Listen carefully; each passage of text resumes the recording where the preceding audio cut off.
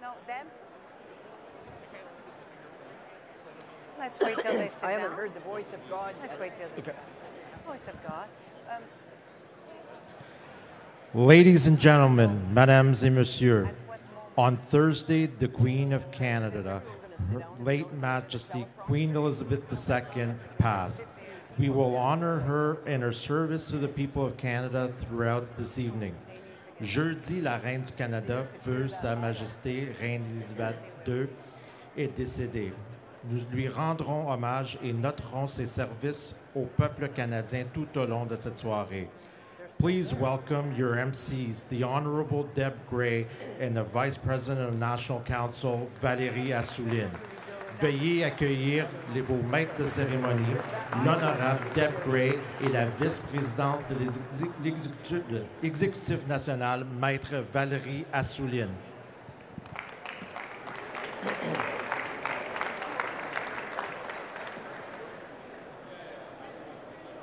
Good evening. Could you please take your seats?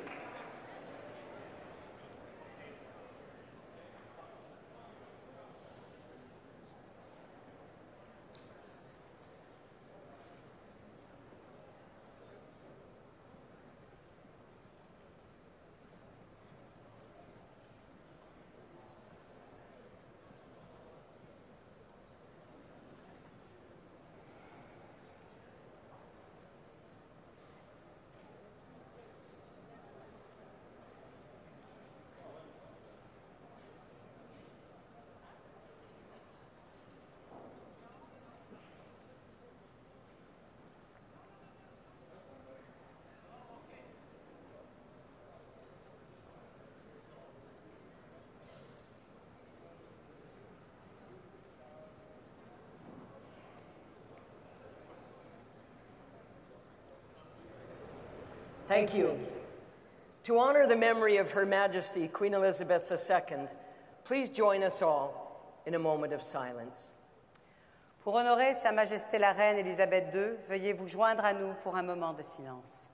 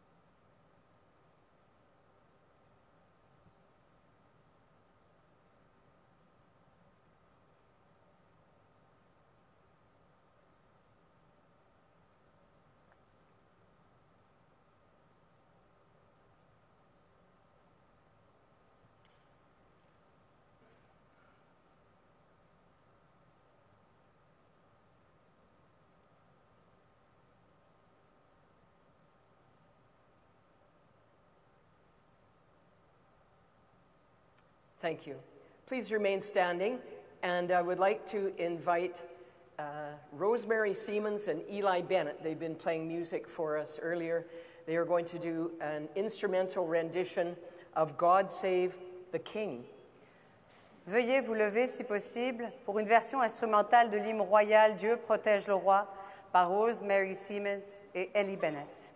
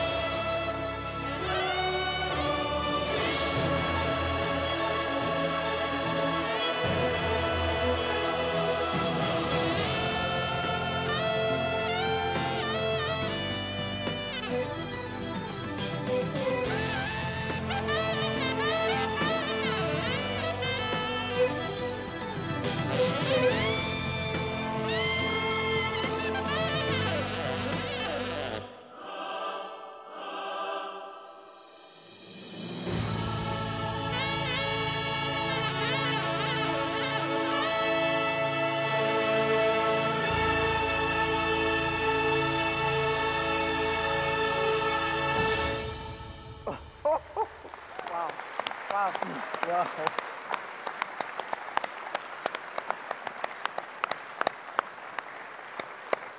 What a royal send off to Her Majesty. That was fantastic. The Queen was uh, named Queen on February 6, 1952. I was born July 1st, 1952, and so I've been thrilled that we've celebrated all our special anniversaries together. And I was so sad to hear the news, but what a wonderful, wonderful Queen she has been to us. Please remain standing and join fem- our former Member of Parliament and the CPC Leadership Election Organizing Committee that Valerie and I both sat on, a LEOC member, former MP Nelly Shin, for the singing of O Canada. Veuillez rester debout et accueillir Nelly Shin, députée de 2019 à 2021 et membre du comité organisateur de l'élection du chef pour interpréter notre hymne national.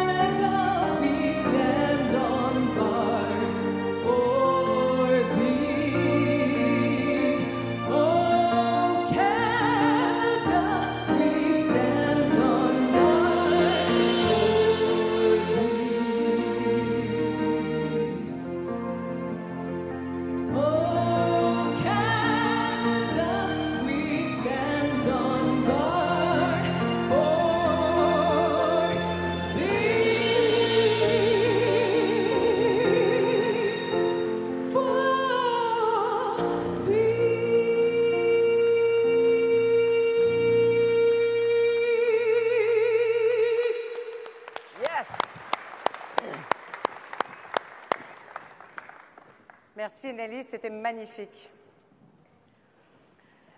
She wouldn't tell you this, but Nelly played the music in the background for her to sing. So another hand for Nelly. Yeah. Wonderful.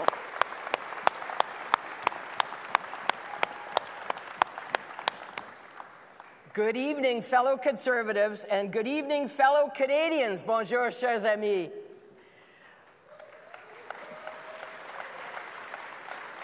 This is a, a great day and it's been a busy time. Yes, please be seated. On behalf of our conservative family, we also offer our heartfelt thoughts and prayers to the victims and their families of last weekend's horrific events. We want to let people of Saskatchewan know that we are thinking about you. We, thank you so much.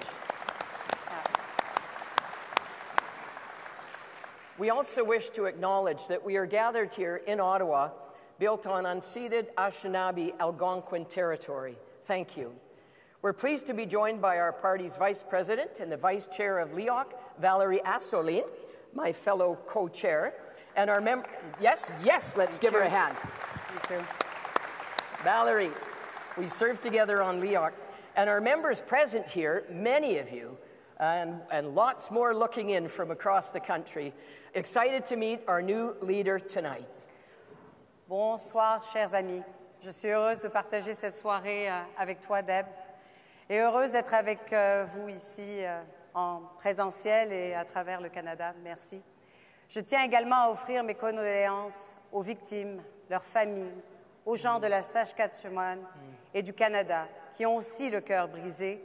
Nous sommes tous avec vous. Pour nous offrir une bénédiction autochtone, veuillez accueillir Léonard Odjick.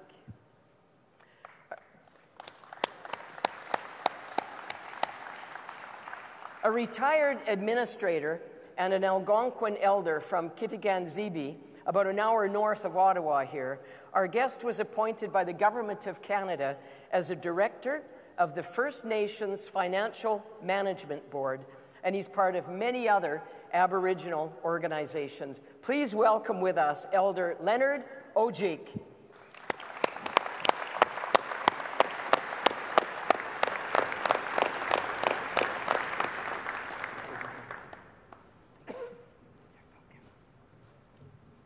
Ladies and gentlemen, Aboriginal people that are in attendance, Kwe, bonjour à tout le monde, mes amis francophones. Good evening to everyone. Already being in- introduced, it's an honor for me because I'm a proud Canadian Aboriginal person. It's an honor for me to be the first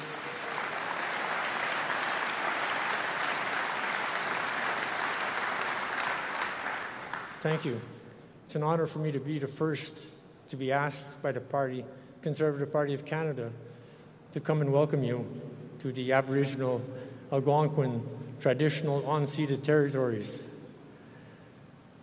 This land that we are on, this specific land, is like the Algonquin capital to us. My ancestors would come down from the trap lines in early spring from all over our land and come and meet at this very spot. We had two very important things to get done. One was the fertile ground to grow our crops that we needed to survive the harsh winters ahead. But more important, we held government as you hold government. We dealt with a lot of people ask, well, what did your government deal with? You were Aboriginal savages. Like, we dealt with trade negotiations, elections, justice, environment. Our trap lines had to be well taken care of. Because if we didn't take care of the environment, we would not survive. Uh, I could talk on and on but I'm sort of limited on time. And I really appreciate being offered the time to be with you. It's a truly honor for me. And I hope that we continue in the future to include Aboriginal people to participate in your gatherings. With that, I pray. I pray for the simple things in life water, the air that we breathe, we take for granted. I also pray and thank the Creator for Aboriginal and non Aboriginal people that we are able and given the pleasure and the privilege to live in the greatest country in the world.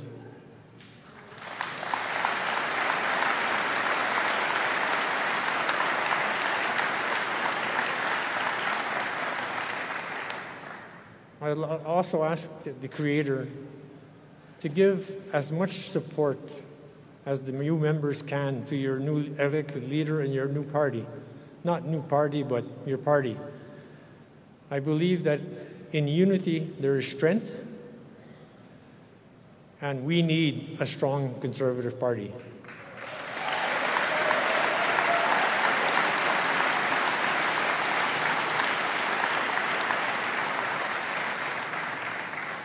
Juste une coupe de mots vite fait pour nos, euh, la population francophone. Euh, j'aimerais pas répéter tout ce que j'ai dit, mais j'aimerais dire que on est chanceux de vivre dans le plus beau pays au monde, puis aussi qu'on est, euh, on a un privilège. C'est un privilège qu'on ne peut pas prendre pour acquis. Euh, merci. Megwedge, Kangutsunan.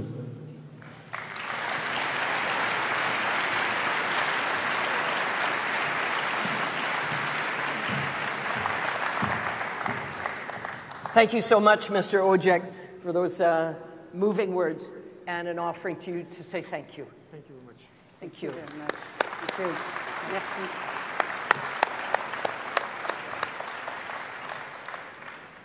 Well, our next speaker is known to conservatives right across Canada.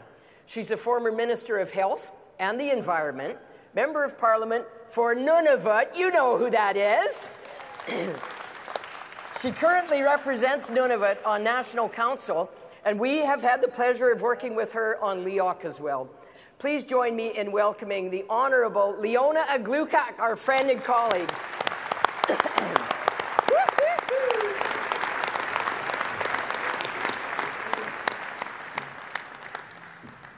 unnu unnu hatqitautinniartillugu tungasungniaqqusi Her late Majesty Queen Elizabeth II, Queen of Canada, has passed.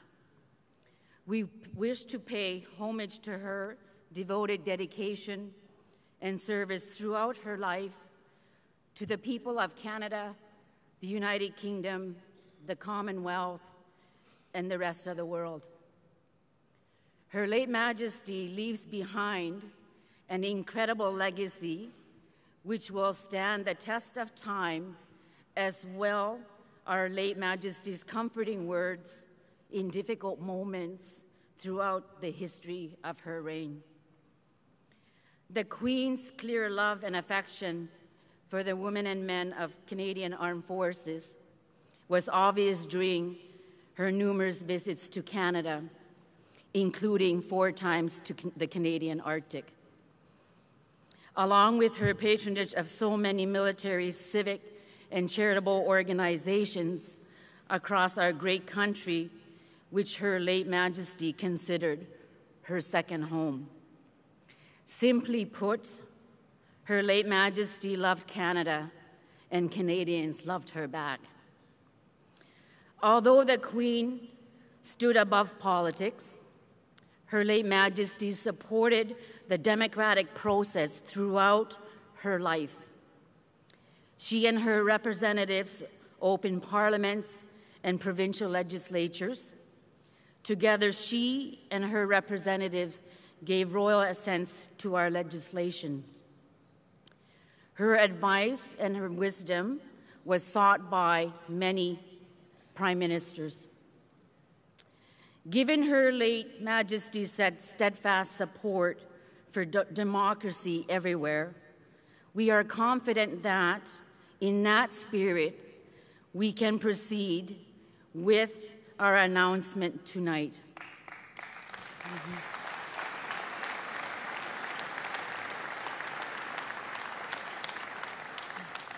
to elect a new leader who will become the leader of His Majesty loyal opposition in a week's time.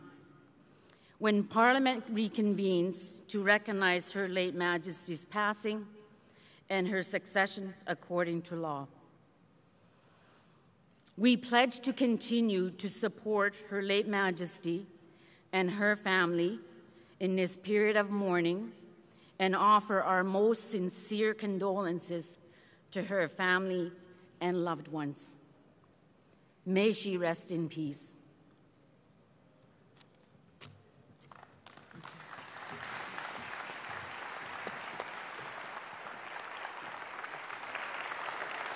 Merci, Liona, pour tes beaux mots. Sa Majesté la Reine Élisabeth II nous a quittés. Nous souhaitons lui rendre hommage pour son dévouement et à son service remarquable tout au long de sa vie envers les peuples du Canada, du Royaume-Uni, du Commonwealth et du reste du monde. Sa Majesté nous laisse un incroyable héritage qui demeurera dans notre mémoire collective, non seulement pour son dévouement et son service, mais également en tant qu'exemple extraordinaire pour toutes les femmes du monde, tout comme ses paroles réconfortantes lors de moments difficiles pendant son règne. Nous offrons nos sincères condoléances à sa famille et ses proches, qu'elle repose en paix.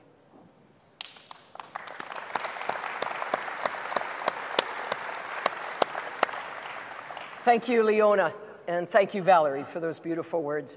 King Charles III was formally proclaimed as our king this very moment, this morning. Please help us congratulate and celebrate His Majesty King Charles III.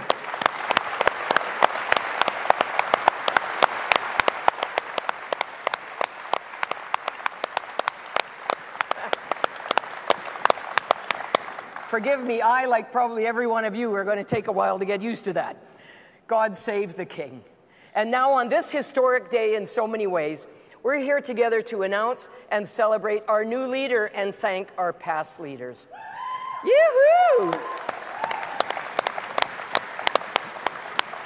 As we all know, and we need to tell the rest of the country, that there's more that unites us than divides us as a party. Absolutely.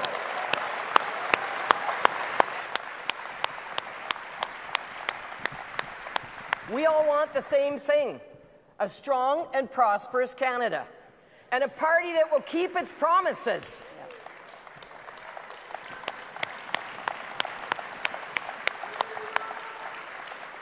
How about a campaign platform they can believe in and trust, not the one that belongs in the fiction section of the local library, like past liberal red books?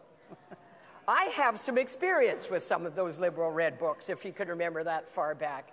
On this conservative team, folks, it doesn't matter what position you play.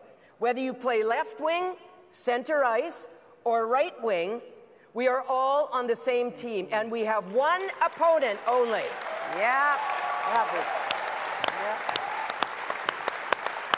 Yeah. Yeah.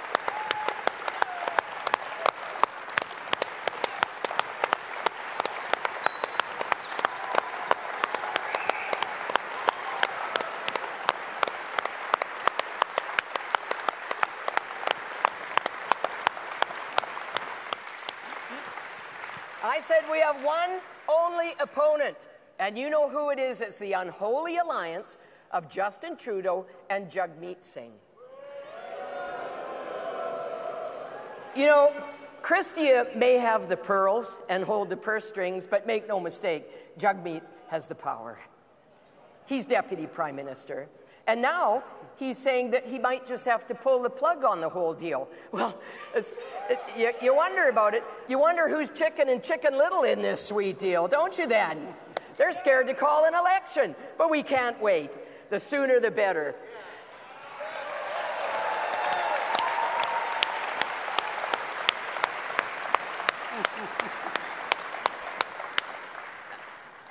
You are not surprised to know that being a politician isn't easy at the best of times. Trust me, been there. I know that, and I thought about it the other day when I was on a long plane ride to Ottawa. I thought, I remember what this feels like. I've been there. It is a rewarding job, though, and we are so thankful for people that step forward to take those jobs. But it's tough. It's hard on family, it's hard on loved ones. Just today, my husband Lou phoned me right before I left the hotel and said, Deb, he was on his way to see his mom, and a big, huge deer just jumped out, just smacked our car. I'm so glad he's okay, but boy, did I feel a long way away. I wanted to be there to hug him, and I bet he wanted me to be there to hug him back. Our car is in Manitoba right now. We've been on a road trip, and we have to drive it. He thinks he could tape it together for us to drive home to Vancouver Island. Yeah, watch for that, okay? It's coming soon. I'm sure it'll be on the national news.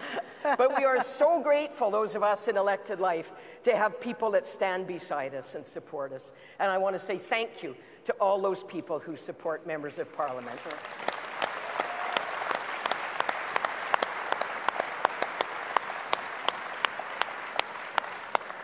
Before her election just last year as Member of Parliament for Hastings, Lennox, and Addington in Eastern Ontario, Shelby Kramp-Neuman worked as an educator, a small business person, and a municipal councillor.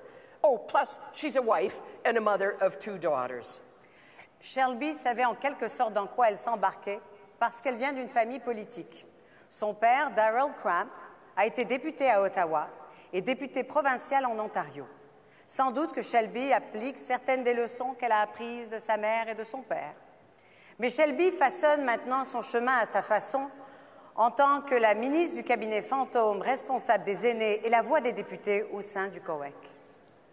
Rick Perkins is another member of Parliament, the Conservative caucus, and just got elected in the class of 2021.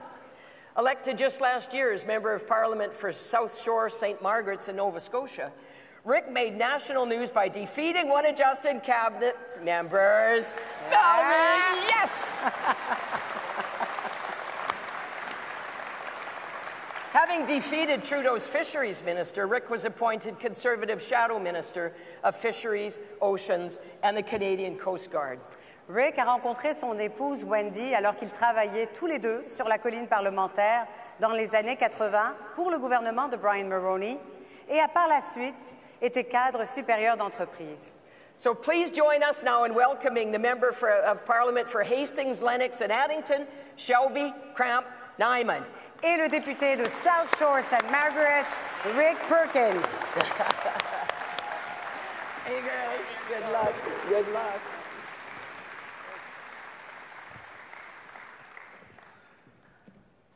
Thank you, Deb and Valerie. Merci. Rick and I are so proud to be here with you this evening to say thank you to Erin O'Toole for his dedication to our party and his tireless work as our leader. We also want to thank Rebecca, Molly, and Jack for supporting Erin during his tenure as leader. While politics can be taxing on politicians, we must never forget the sacrifices that our families and loved ones make, allowing us to serve this great country.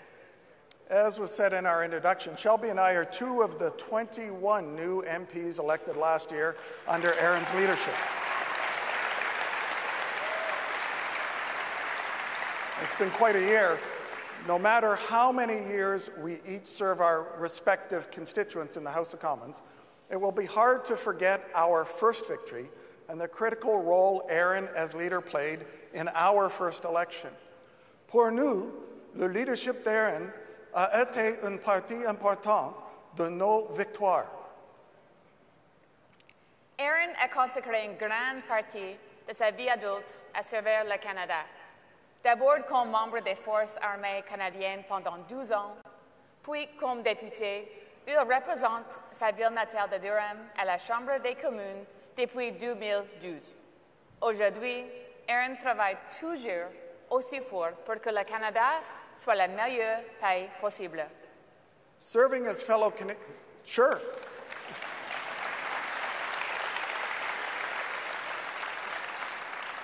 Serving as fellow Canadians has always been important to Erin, as he co founded, after his military service, the True Patriot Love Foundation, the largest Canadian charity dedicated to serving veterans and military families across Canada.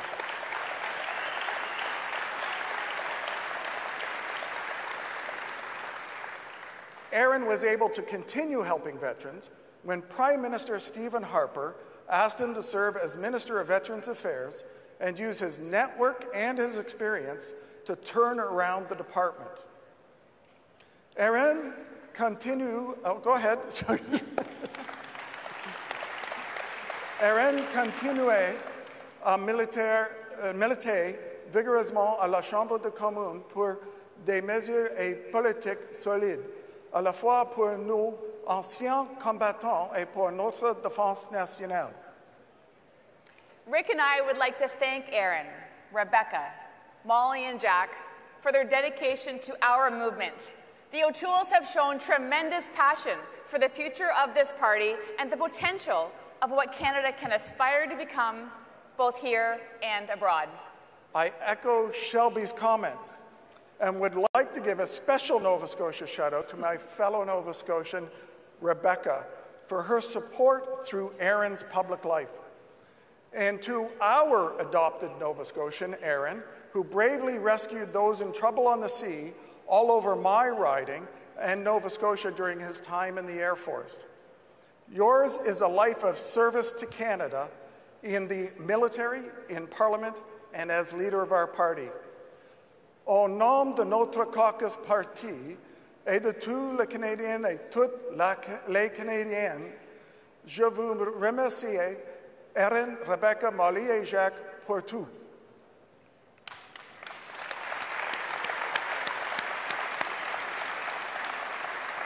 Ladies and gentlemen, please turn your attention to our screens for a word from Erin via video.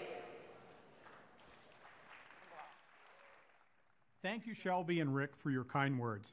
You're both outstanding members of Parliament and great friends. My fellow Conservatives and those Canadians watching tonight, I would like to thank you for your recognition this evening and for the distinct privilege I had being leader of Her Majesty's loyal opposition. The sudden passing of Her Majesty Queen Elizabeth II has hit our family hard, like it has millions around the world. Her service above self is an inspiration to us all, and I hope her family and our friends in the United Kingdom find solace in that. I want to begin by tonight repeating what I said in my final speech as leader. Being elected to represent my community in Parliament and becoming leader of the Conservative Party has been the honor of a lifetime. For a kid from Bowmanville raised to value service, to get the chance to serve his country during a challenging time has been a true blessing. For too short of time, I had the privilege of leading the Party of Confederation, a party of important policies, of relentless progress, and of steadfast principle. A party that throughout our history has helped forge the incredible country we cherish today. I want to thank Canadians from coast to coast to coast for the unique privilege of being invited into their lives. Whether it was thanking veterans for their service in a coffee shop in Doaktown, New Brunswick, or learning about compassionate addiction treatment at the Last Door Recovery Centre in New Westminster, BC, or serving meals to the hungry alongside tireless volunteers at a Sikh Gurdwara in Brampton, Ontario. My love for this country has deepened the more I saw its citizens in action. I am inspired by the true patriot love of Canadians who work hard, provide for their family, and help their neighbor. Their quiet confidence is the source of our country's true greatness. C'était pour moi un honneur de diriger le Parti conservateur du Canada et de rencontrer des Canadiens et Canadiennes de partout au pays, de l'Est à l'Ouest, de la pêche sur le fjord de Saguenay et au dire de Infoman que j'avais le meilleur plan. C'était un privilège de rencontrer autant de Québécois et de Canadiens francophones qui me parlaient de leurs inquiétudes. Je tiens à remercier les millions de Canadiens qui ont démontré leur confiance en moi et en notre plan pour le pays. My friends, the Conservative Party needs to be united behind our next leader because our country needs unity more than ever before. The Conservative Party needs to be compassionate because Canadians need to be heard and need to be understood more than ever before. And the Conservative Party needs to be strong, not with the strength to overpower our rivals, but with the strength of character needed to carry those in need or those who are losing faith in our country. Conservatives must put the unity of our country first because the fabric of our federation has been stretched thin over the last few years. Loss, fear, uncertainty. The pandemic came to our shores three years ago as a health crisis, but has transformed into a political crisis. Dislocation and frustrations are eroding trust, weakening our institutions, and harming our democracy. Social media makes it easier than ever before for millions of people to hear you speak, but harder than ever to convince others to listen. A strong, compassionate, and united Conservative Party can ensure that all voices are heard and begin the process of stitching the country back together. Nous avons besoin d'un parti conservateur uni qui donnera la priorité à l'avenir de notre pays. Nous devons guérir les divisions dans ce pays et nous devons avoir l'unité et non la division. Les Canadiens au Québec et partout au pays ont besoin d'une équipe conservatrice forte, professionnelle et unie.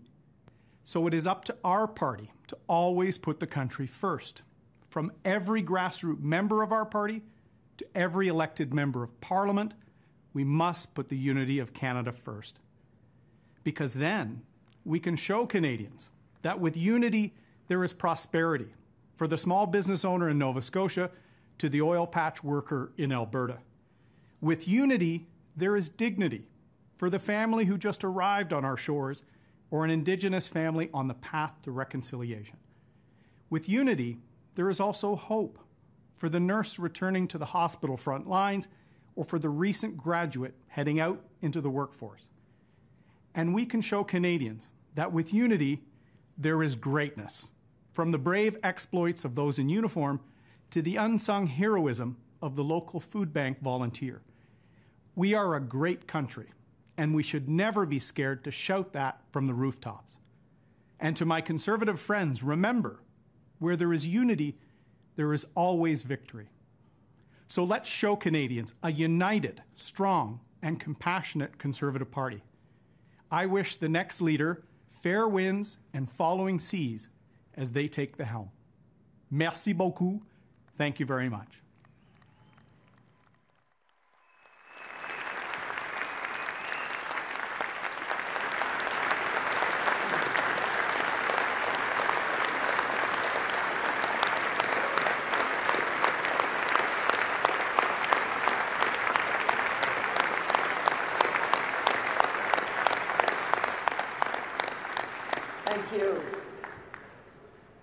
Welcome another LEOC member and a candidate for our party in Manitoba during the last election, and the founding president of the Manitoba chapter of the Association of Black Conservatives, Shola Agbula, for a special announcement. Shola.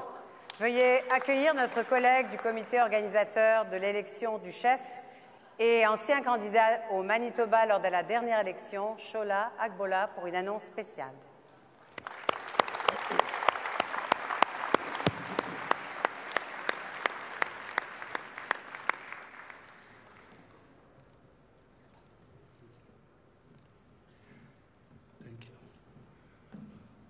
As a candidate for our great party in Manitoba during the last federal election, under the leadership of Erin O'Toole, and as a founding president of the Manitoba chapter of the Association of Black Conservatives in Canada, I can say without any equivocation, any ambiguity, or any doubt that conservatives need to be and we must be united to win the next election.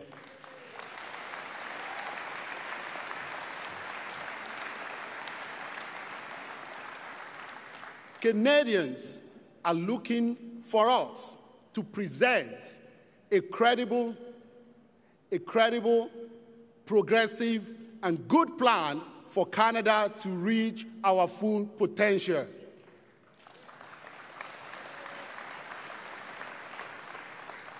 They know, Canadians know, that Canada can be, can do, and must be better than this.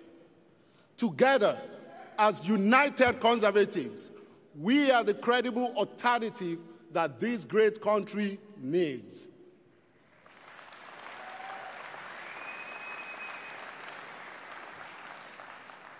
And Erin, you've served our country and you've served the party diligently, and you continue to do so.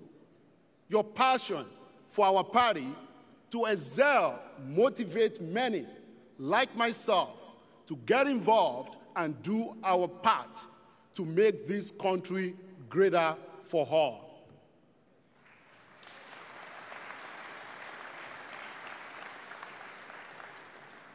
Her Majesty, Queen Elizabeth II, was dedicated to helping others through our various charities, to honor our commitment to charitable causes, and to thank Erin O'Toole and his family for their service and dedication to our party, both before, during, and after Erin's time as a leader. It is my honor to announce tonight that the Conservative Party of Canada will be making a donation in the name of Erin, Rebecca, Molly, and Jack O'Toole to the True Patriot Love Foundation. Thank you very much.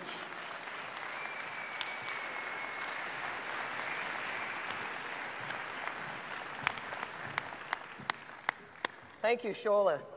I think it's fair to say this next speaker has had a lot of work in his two plus years as president, Rob Batherson, you have a very understanding wife. Dans les 18 mois en tant que président de notre parti, il a été très occupé. Il a dû naviguer dans une élection générale et une course à la chefferie.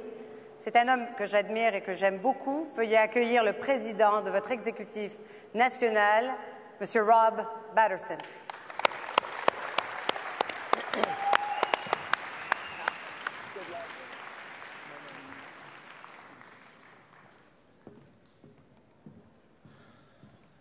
Merci, Valérie. Thank you, Deb.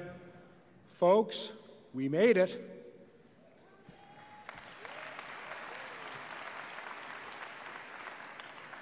As we gather as conservatives tonight, like Canadians from coast to coast to coast, our friends in the United Kingdom, and people around the world, we are here with heavy hearts on the loss of Her Majesty the Queen. Elizabeth II is the only head of state that most Canadians have ever known. We celebrate her commitment to Canada, her lifetime of service, and the example she set for us all. 20 years ago, in her annual Christmas broadcast, Her Majesty said, Each day is a new beginning. I know that the only way to live my life is to try to do what is right, to take the long view, to give of my best in all that the day brings, and to put my trust in God. One of the Conservative Party's guiding principles is a belief in the constitutional monarchy, the institutions of Parliament, and the democratic process. Tonight, we are doing our part to support Canada's constitutional monarchy, the institutions of Parliament, and the democratic process.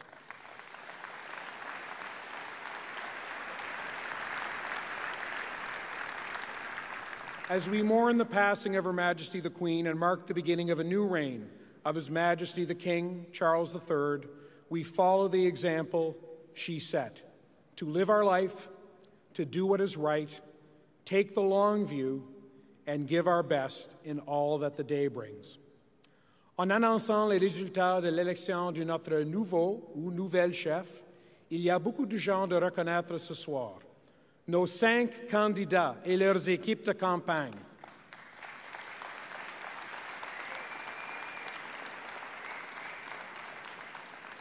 Mes collègues tous bénévoles de l'exécutif national. Absolument. Mes collègues encore tout bénévoles au comité organisateur de l'élection du chef présidé par Ian Brody. Le personnel au bureau national mené par notre directeur général, mon ami Wayne Benson.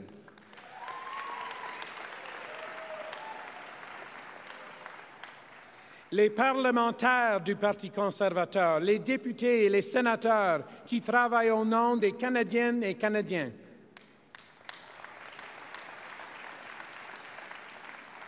Later in our program, we will say thank you to my friend and a, and a friend to many in our conservative movement, our outgoing leader, the Honourable Candice Bergen.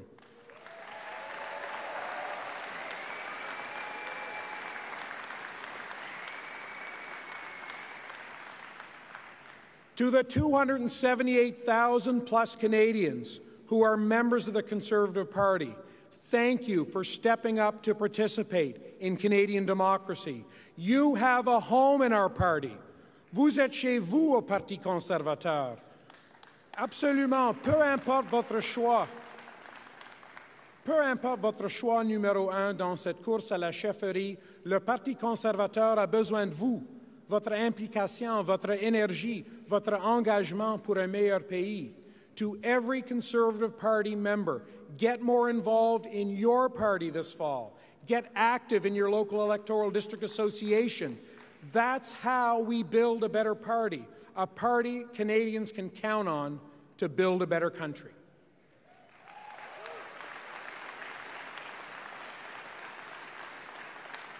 Friends, that's why the work we do to elect the next conservative leader matters. One of our guiding principles, spelled out in the Constitution of the modern Conservative Party, that Stephen Harper and Peter MacKay forged together in the 2003 merger. Let's thank Prime Minister Harper and Peter MacKay. Absolutely.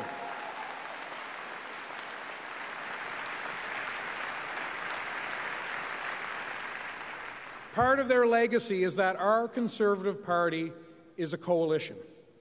Today, our Conservative coalition is larger than it has ever been.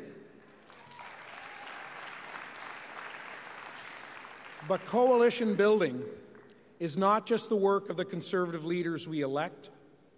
Co- coalition building depends on each and every one of us to respect and embrace our differences as Conservatives, to invite people in, not turn them away, to focus on what we agree on, to build a better Canada. Let us resolve to put aside the differences that occur in any leadership race. Let us unite for change, the change that Canada leads. Let us.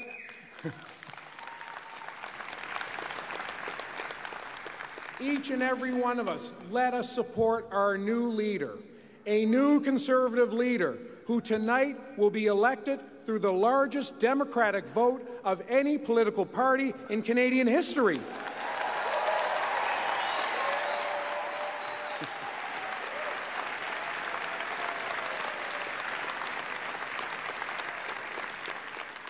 Conservateurs et conservatrices, l'union fait la force. Ensemble, unis, on va gagner. Canada wins, Canadians win, when conservatives win. Thank you. Merci. Thanks.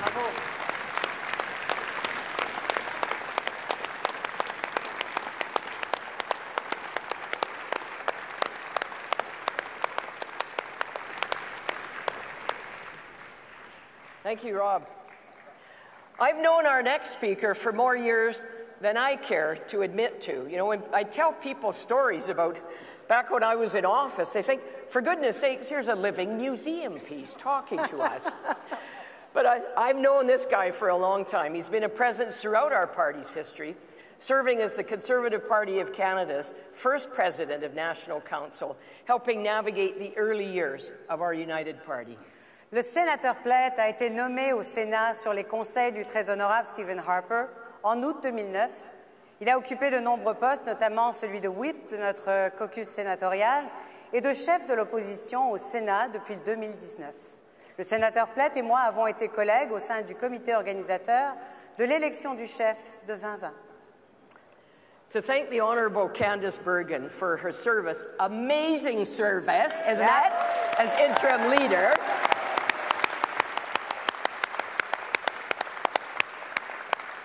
He's going to thank her and present a video in your honor, Candice. That'll be special. I'll love it. Please welcome her fellow Manitoban, Senator Don Plett. Don.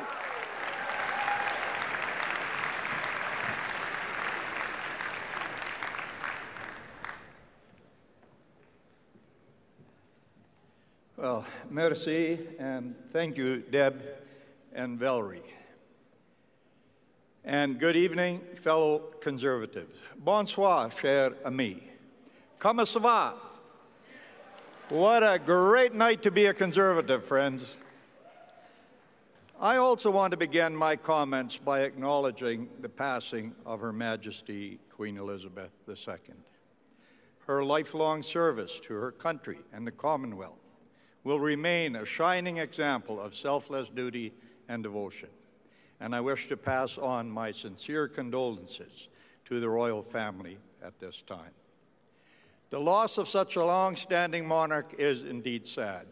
But tonight, friends, I have the privilege.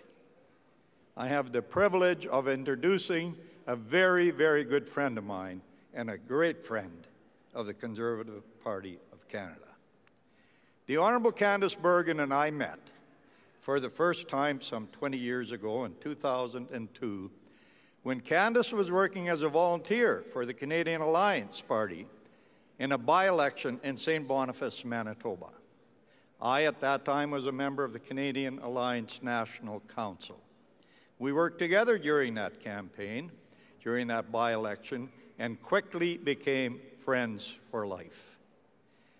It has been a true pleasure for me to deal with Candice and work with Candice in all the roles that she has taken on in our party.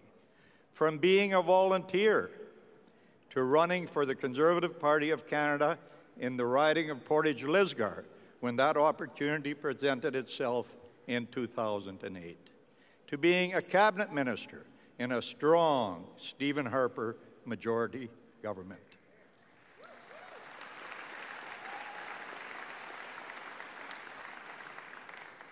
To then being the opposition House Leader. For four years, Candice was the opposition House Leader, both under the uh, leadership of the Honorable Rona Ambrose and then under the leadership of the Honorable Andrew Scheer.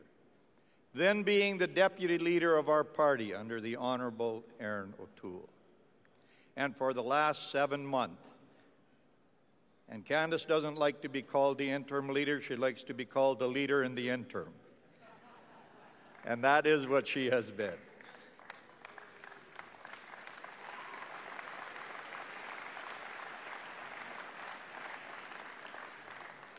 I am asked often, and I did this just a while ago when I was speaking to a group of interns uh, in, the, in the Senate of Canada building. Uh, and I get asked, how can I get involved in politics? Candice is a leading example for all Canadians who are looking to get engaged. She started as a volunteer, and with skills and devotion, she created a remarkable path for herself, one that led to one of the highest positions in our country, the leader of the loyal opposition.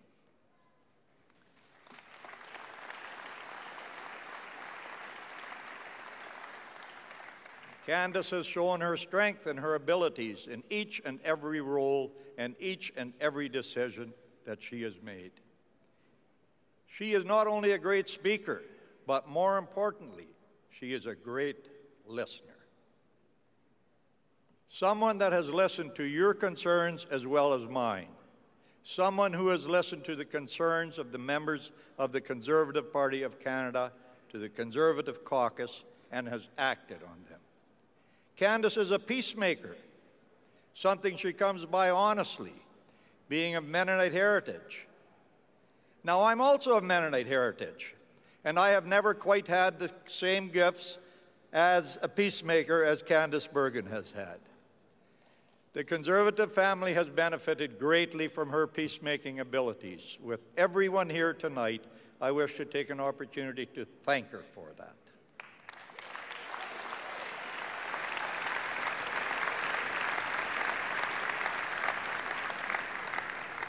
Friends, Candice has achieved in our caucus what had not been achieved in quite some time, and that is complete party unity.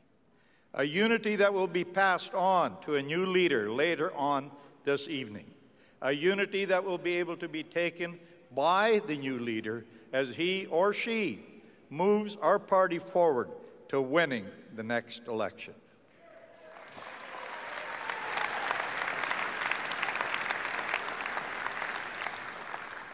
This is no small feat as you think of leading a conservative caucus. Conservatives inherently are not followers, they are leaders. And Candice has done a remarkable job of bringing us all together. We have not only become colleagues, Candice, you and I have become lifelong friends. Betty and I look forward to spending more time with you and Mike at the lake, as your place is just down the street from ours. You are a true friend of the Conservative Party of Canada, Candice. It has been an honor to serve in caucus under your leadership. Thank you very much.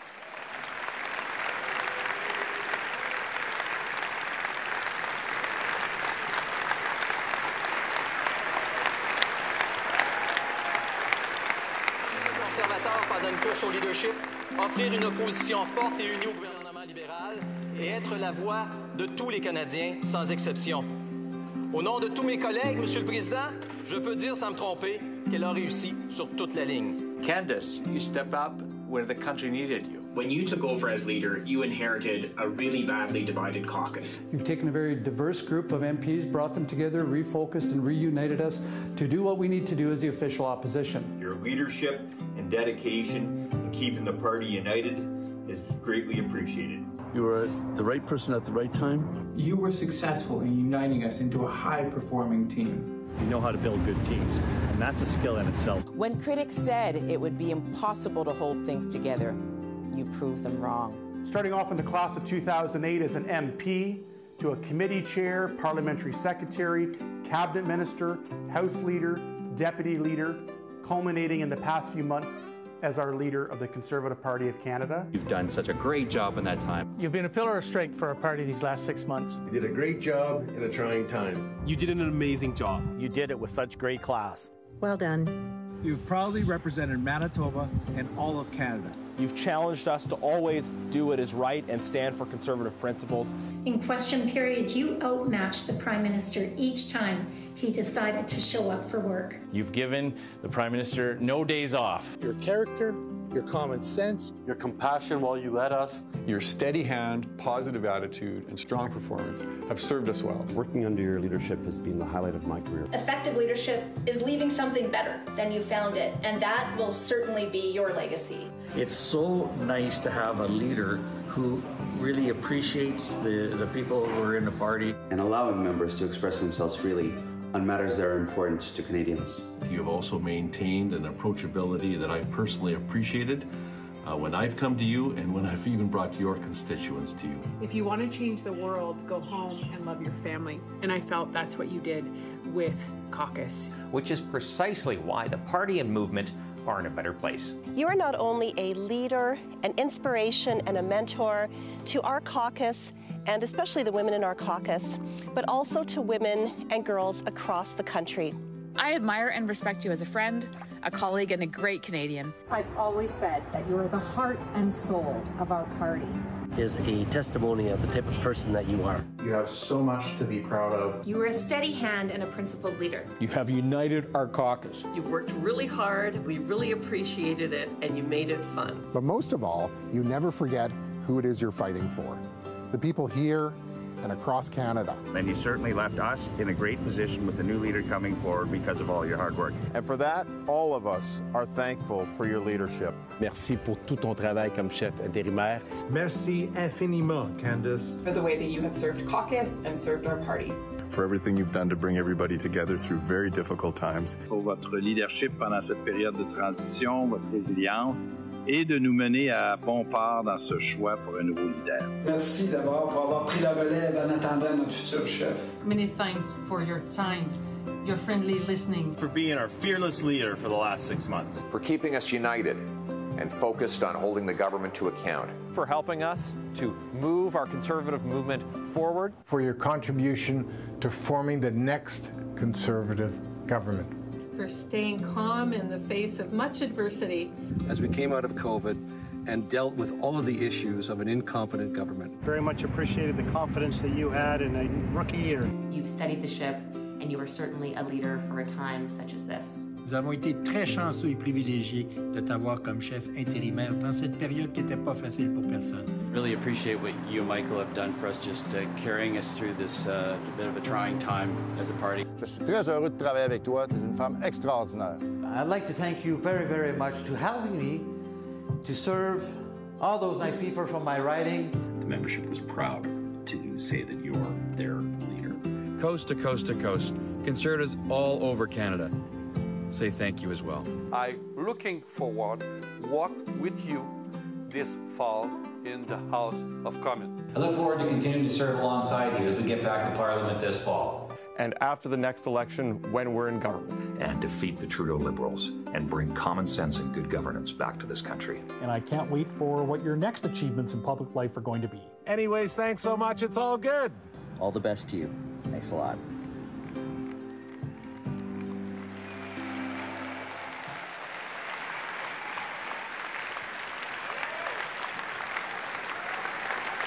Ladies and gentlemen, friends, please help me in welcoming our leader, the leader in the interim, the Honorable Candice Bergen.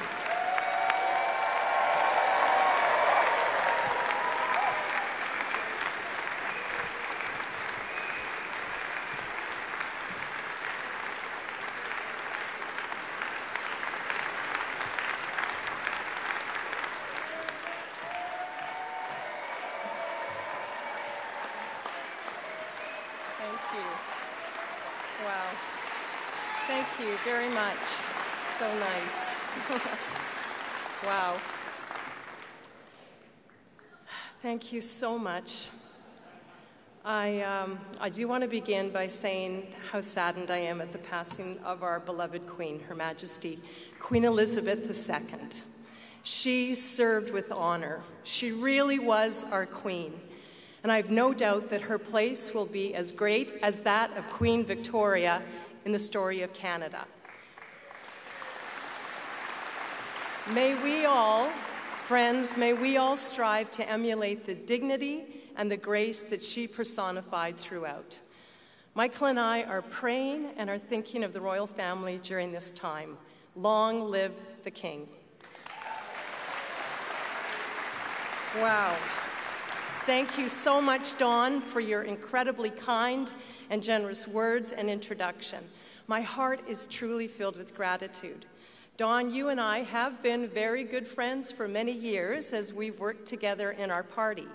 And like many good conservatives, we did disagree occasionally, but we always respected each other. We've been intensely loyal to our friendship and our cause, and that's what conservatives do. Sharing many laughs, sharing some tears, many dinners, and late night talks. And because of that, Don, you and Betty are lifelong friends to Michael and I, and we're very grateful for you.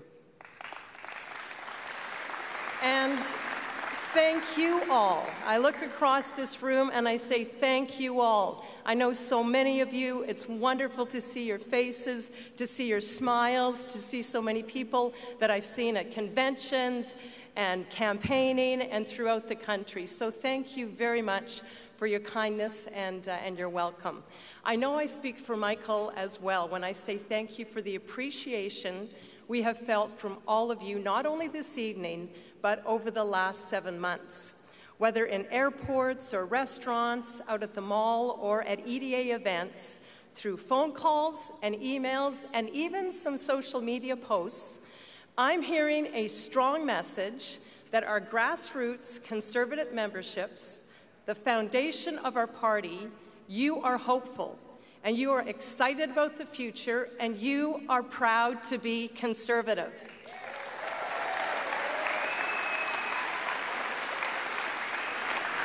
You, you are proud that we stand for fiscal responsibility, national unity, law and order, and freedom of expression and belief. Freedom. Not liberal light, but conservative. And in addition to that, literally hundreds of thousands of more Canadians have joined our party and are feeling that same optimism and excitement. So, thank you for helping confirm to me and our entire Conservative caucus that we were on the right track by being a strong, consistent Conservative voice in all that we have said and all that we have done. My, my heart is filled with gratitude as well to my incredible caucus. First of all, my leadership team made up of Luc Berthold, my deputy leader. Merci beaucoup, Luc, pour le bon travail que vous avez fait. Thank you to Blaine Calkins, our whip, John Brassard, our House Leader, as well as MPs Tom Kmiec, Melissa Lantsman, Lianne Rood, and Warren Steinley. You are all extraordinary leaders, and I thank you and to the rest of our caucus, including senators who work day in and day out in Ottawa and their ridings, and would come to Ottawa every week and bring advice and strategy and passion on how to deal with issues of the day. Thank you to my caucus. Thank you to our caucus chair, Scott Reid, who has done a fantastic job over the last several months. Ladies and gentlemen, our caucus is made up of so many smart, experienced, wise, and compassionate individuals. And if there's one piece of advice I want to give to the new leader, whoever it is, it's this respect, listen to, and trust our caucus. They will not let you down.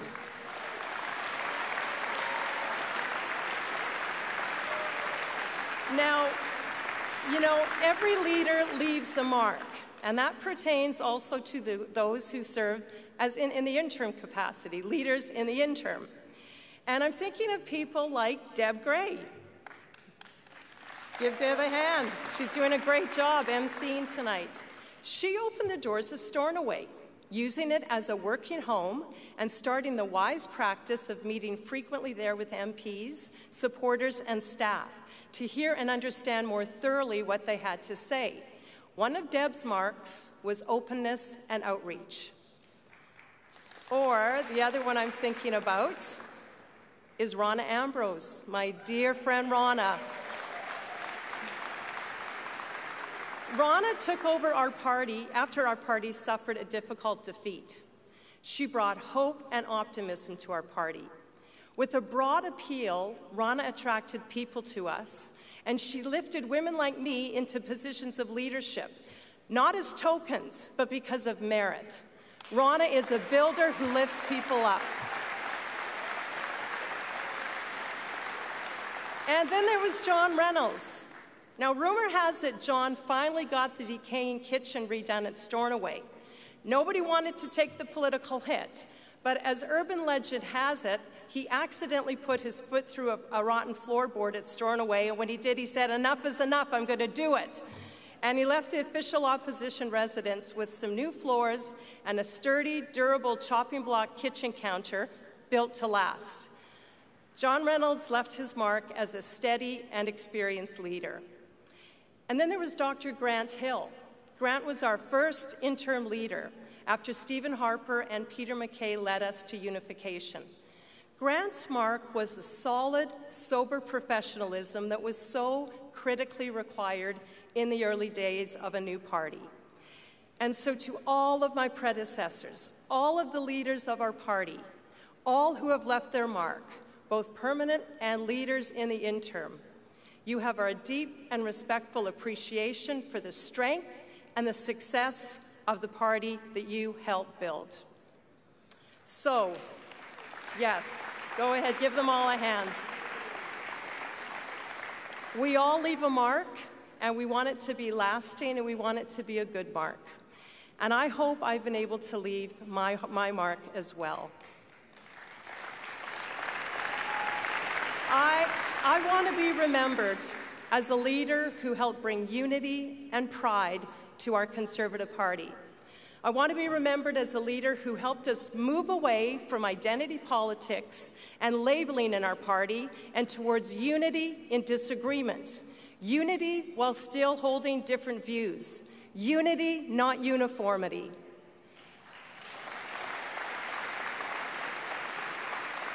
So, my friends, my fellow conservatives, as I leave, I want to once again ask you please don't allow yourself, whatever kind of conservative you are, to be broken into groups and labeled. Do not descend into the cauldron of identity politics and division in our own party. Do the opposite. Live, talk, and walk unity even when you disagree with each other. Actually, especially when you disagree with each other. Unity as conservatives and unity as Canadians.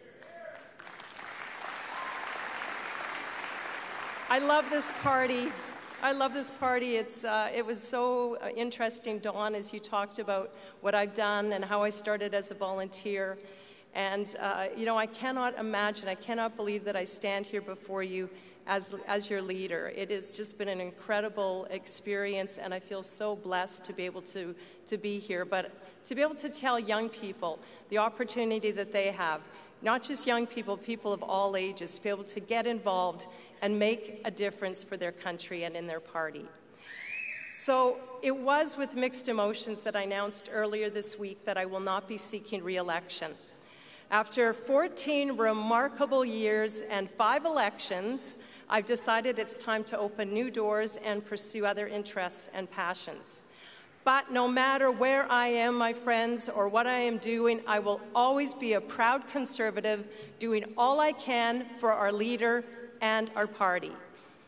And now, speaking of leader, tonight is the night. Tonight is the night we're going to find out who our members have selected to be the next leader of the Conservative Party of Canada. I want to thank each one of the candidates, Jean, Leslyn, Pierre, Roman, and Scott, for putting your names forward and the great work that you and your teams have done. Thank you so much.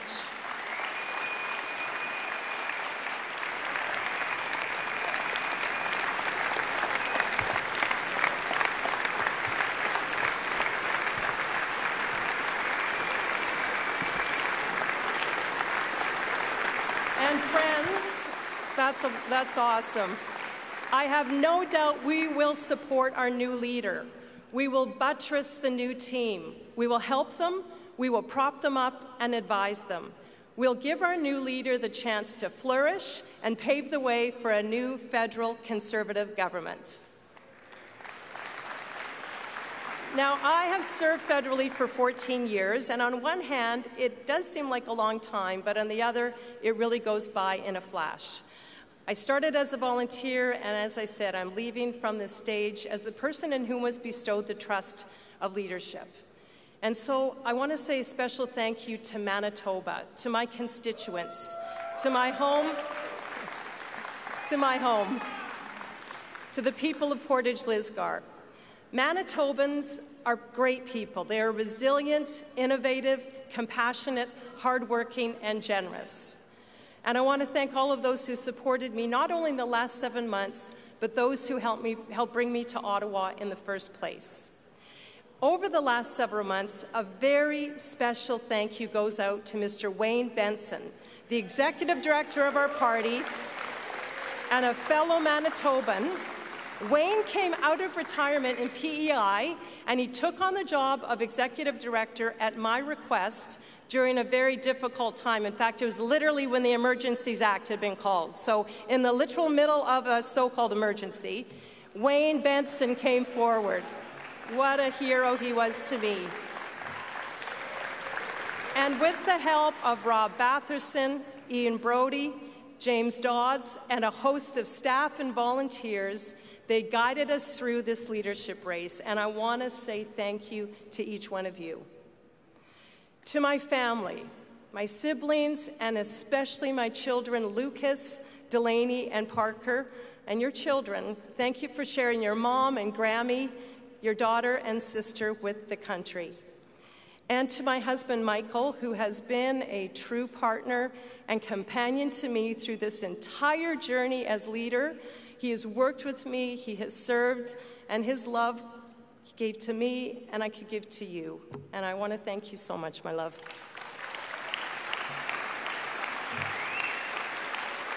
And finally, again, thank you to my wonderful caucus, the members of parliament that are elected across this country to represent as conservative members of parliament.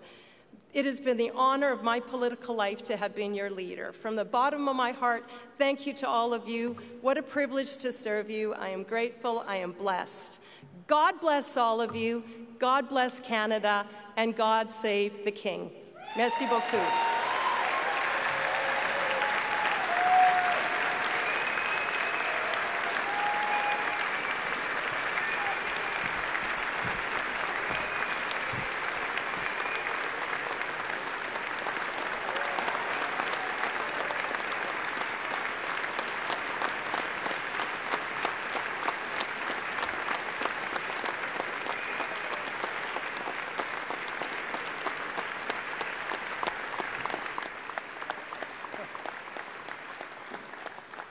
Well, when you're a volunteer president, there are good days and days that aren't as good.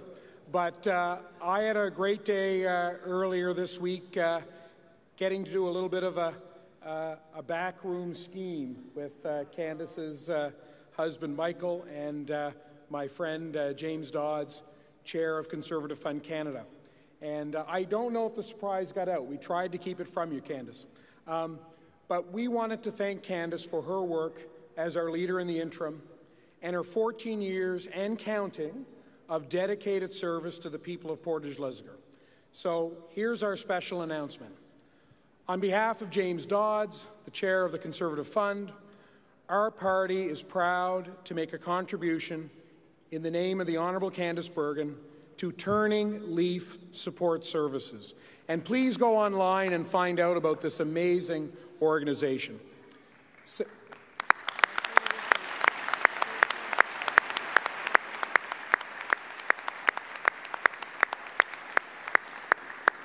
I think one thing that shines through about Candice Bergen is compassion.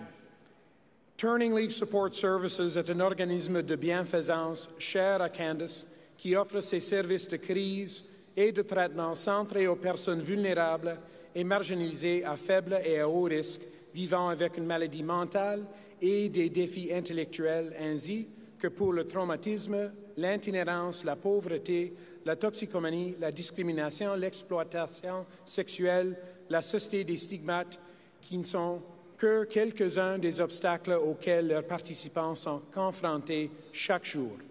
A small token of appreciation for everything Candice Bergen has done for our party, not only since becoming a Member of Parliament in 2008, but also for her tireless work since February, keeping everything running smoothly, ready for our next leader. Thank you, Candice for everything.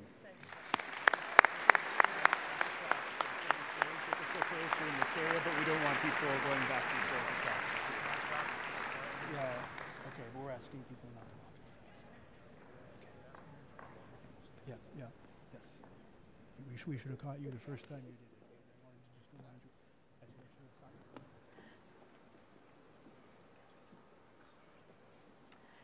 Thank you.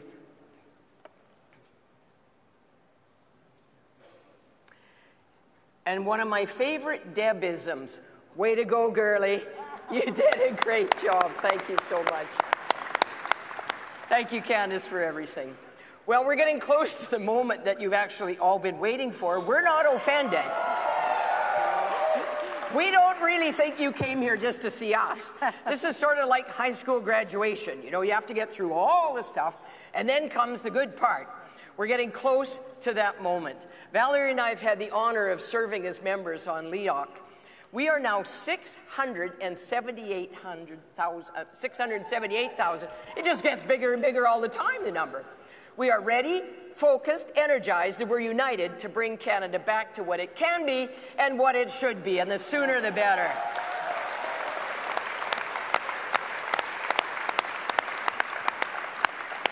We're getting ready to tap in to what we're hearing from Canadians. Canadians are telling us we want and we need change, and we tonight here are prepared to give it to Canadians. So now, on with the show. If Ian Brodie hasn't done every single possible job in this party, I think he's pretty close. A long-time dedicated conservative, he served as Prime Minister Harper's first chief of staff at the critical start of the Harper government. When asked to serve our party again, Ian didn't hesitate. I have known Ian for a very long time. And when I heard that he was chairing LEOC and I was asked to sit on it, I said, yes, I'll do that, and happily, because Ian was there. So I think we could agree, I hope we could agree, that this is going to be the last leadership yeah. race for a long time. Yeah.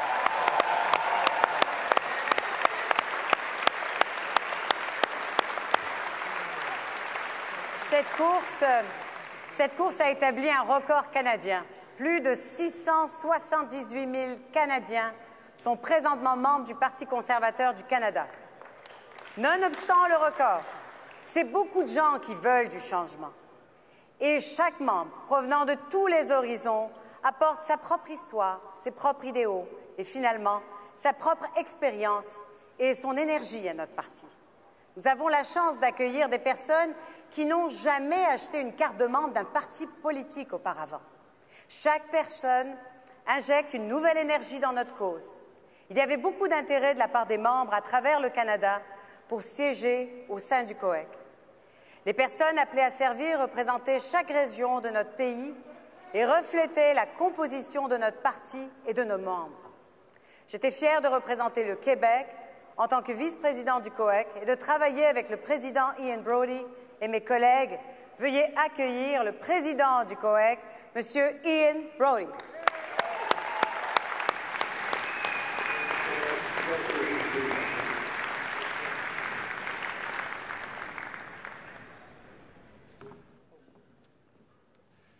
Uh, dear friends, the membership of our Leadership Election Organizing Committee was a broad representation of our country and the membership of our party from coast to coast to coast.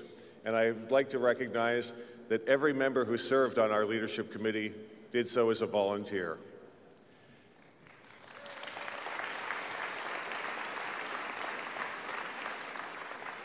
Every member that I served with committed untold hours to the task at hand, taking time away from their families, from their professional commitments, and from the rest of their lives to make sure that we had a fair leadership election. The process and everything that involved the running of this uh, leadership contest took place in consultation with the campaigns.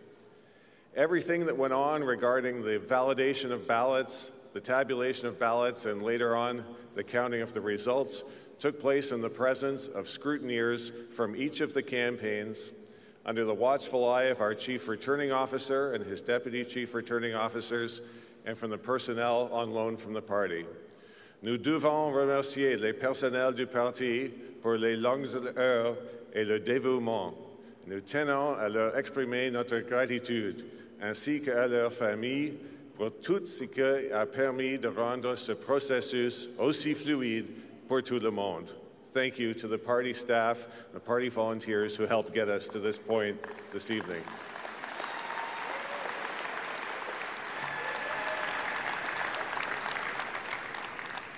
It was our remarkable range of candidates, and there are thousands of organizers and volunteers from coast to coast that recruited all of these new members to our party. Each candidate and their teams and their experienced volunteers brought ideas to recruit Canadians. The party staff processed the hundreds of thousands, half a million new memberships added to our party.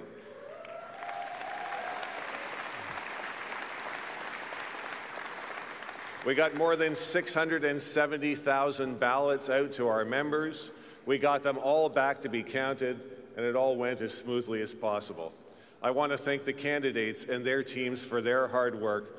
I hope every candidate and every volunteer is proud of the work they did during this race.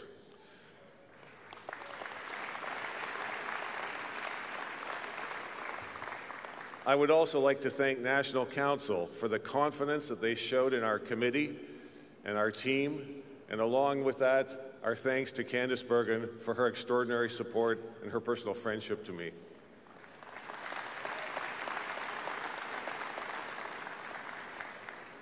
I would be remiss if I did not thank my predecessors as LEOC co-chairs of the past, Dan Nowlan and Lisa Raitt, for their extraordinary work and for the inheritance of the expertise and track record that we got when we got our flying start. Thankfully, together, we met the challenge of a record breaking membership along with the trust of our members. At this time, I'd like to uh, invite my fellow uh, volunteer, Don Nightingale, our Chief Returning Officer and a Director of the Conservative Fund Canada, and my dear friend Wayne Benson, the Executive Director of the party, to come forward and review some of the relevant rules and outline the role of Deloitte. Don and Wayne are both former three term national councillors of our party, and uh, like me, somehow when the call comes, they just don't know how to say no. I can testify that they are both extraordinary loyal and committed members of our party. They put in tireless hours to deliver this race, and I am personally thankful that they did agree to serve when they were asked. Don and Wayne, please.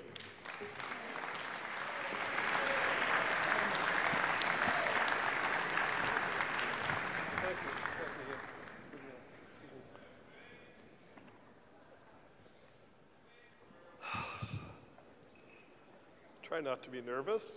I remember well that evening in February when I answered the phone.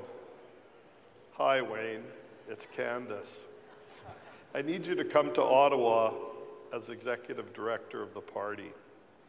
This was not how I planned to spend the next seven months of my retirement. I inherited a staff at headquarters that for the most part, had been working from home for the better part of the previous two years. Personally, I had a very steep learning curve ahead of me. However, I will say this Without the commitment, dedication, and unwavering support of our staff, we would not be where we are today.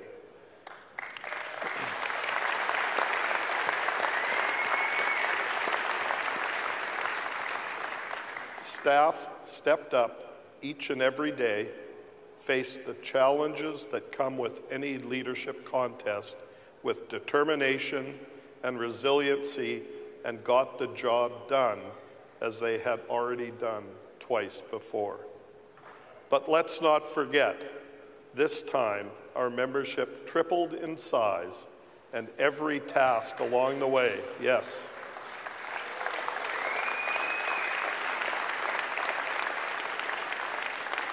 Every task along the way was similarly magnified. Every single member of our party needs to know how valuable our staff is and was to this undertaking. I am fortunate and honored to have become part of their team. I want to thank them from the bottom of my heart. We could not have done it without each and every one of you.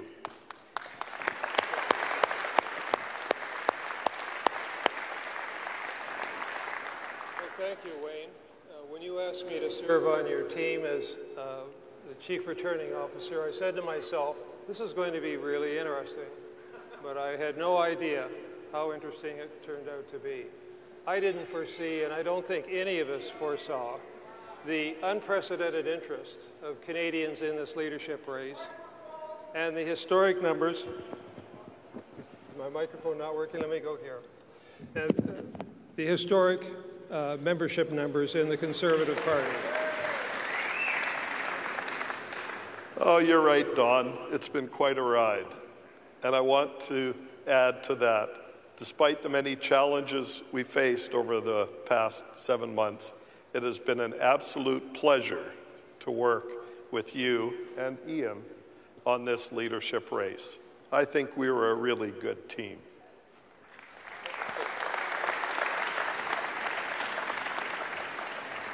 Yes, I wholeheartedly agree with that, Wayne. It was a real pleasure. I'd like to say a few words, ladies and gentlemen, about my duties as Chief Returning Officer. The duties of the Chief Returning Officer in this leadership race are primarily to monitor the process, to ensure compliance with our Constitution, and with the rules and procedures determined by the Leadership Election Organizing Committee. And I'd like to take a moment to remind everyone of a couple of the more important rules in this race. First, our Constitution requires that this race will be conducted on a one member, one vote point system. Well, what does that mean? It means that each of the 338 ridings in Canada are allocated 100 points. The Constitution, however, states that only ridings that have achieved a minimum of 100 valid votes cast will receive the full complement of 100 points. Leadership candidates are allocated points based on the percentage of votes they receive in each riding. 30% of the votes means 30 points. To win, a leadership candidate must attain a majority of points from across the country. If no candidate receives a majority of points on the first ballot, we will hold a second ballot. This is what is called a single transferable ballot. On the second ballot, the candidate receiving the fewest points is dropped, and that candidate's points are reallocated to the second preference, with the vote totals, or the point totals rather, being recalculated for all the candidates. This process is repeated until one candidate receives a majority of points and is declared the winner. I would like to add that the point totals at the close of voting are verified by Don as CRO and independently by Deloitte LLP. The results are then reported to Ian, chair of LEOC, and Ian will then announce the results here at this podium. One excerpt from our Constitution in part states National Council or the Leadership Election Organizing Committee will engage an independent third party to count the ballots in the votes specified. LEOC, pursuant to their rules, appointed Deloitte to monitor and verify the leadership election process and result. And then Deloitte LLP was retained by Conservative Fund Canada, the Leadership Election Organizing Committee, and the Chief Returning Officer to act as an independent advisor and observer for the 2022 leadership election. Conservative Fund Canada will be and was solely responsible for the provision of oversight and staff for carrying out activities adhering to all applicable election rules, including the credentials rules and counting rules. Well, ladies and gentlemen, the moment has arrived.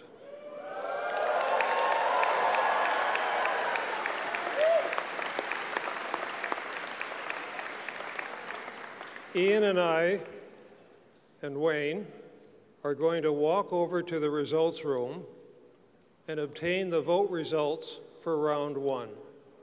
Assuming everything goes according to plan, we will be back here on stage in 10 to 15 minutes with the results. They, they have not been calculated yet. They're ready to press the button on the computer and give us the results. So don't go away.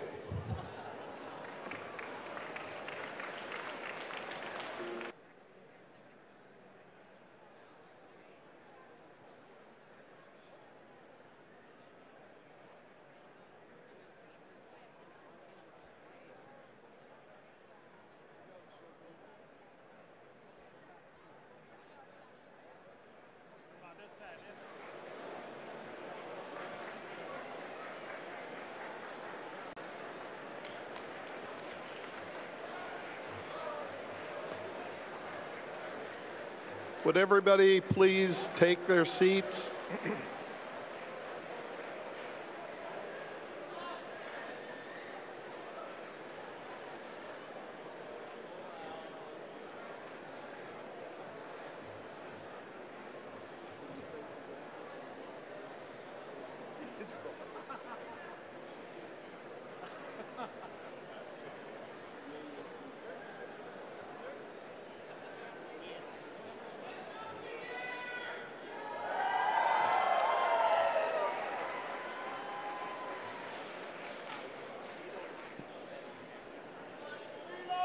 I just want to I just want to say we would have been up here much sooner except the elevator was in use.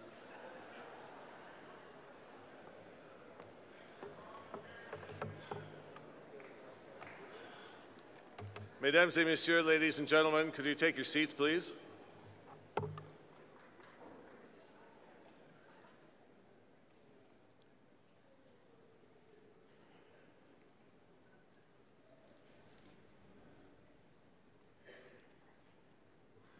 Mesdames et messieurs, ladies and gentlemen, j'ai des résultats. I have some results.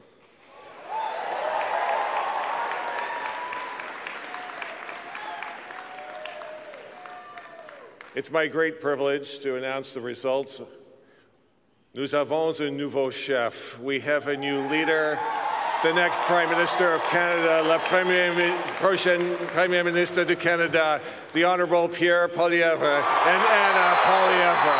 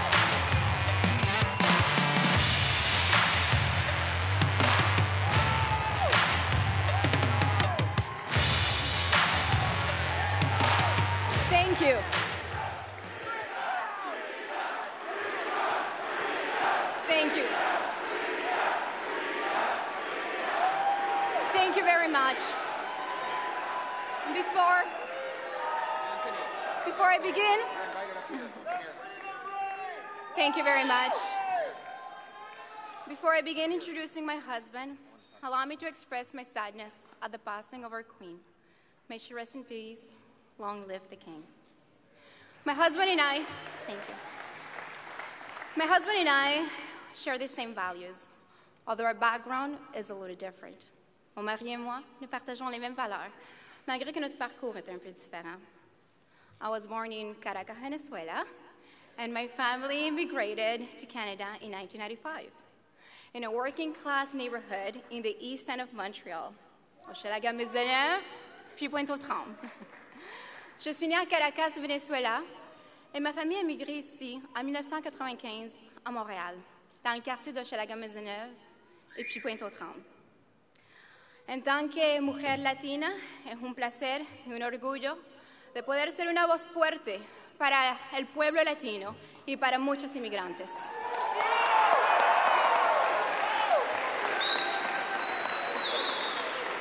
My father, he went from wearing business suits and managing a bank to jumping on the back of a pickup truck to collect fruits and vegetables because that's what he had to do to feed his family.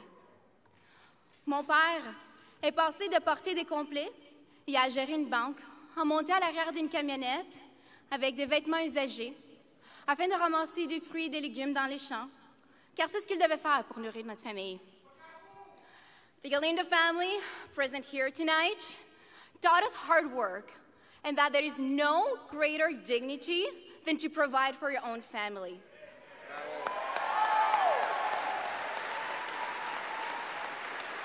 La famille Galindo, la famille Galindo présente ici ce soir, nous a enseigné qu'il faut travailler fort et qu'il n'y a pas plus grande dignité que de subvenir aux besoins de votre famille. Years later, here we are. My father is a small business owner, and my siblings went all from their humble beginnings, including me working at McDonald's, to being a renovator, a registered practical nurse, a proud member of the Canadian Air Forces, and here I am, la petite de Pointe-aux-Trembles, standing in front of you and by my husband's side. Dios mío, ¿quién se lo hubiera imaginado? Mon Dieu, qui aurait imaginé ça? My husband's story is a little different. He was born in Calgary to a teenage mother who had just lost her own mother. She gave Pierre for adoption to two wonderful school teachers from Saskatchewan. And again, they're all present here tonight.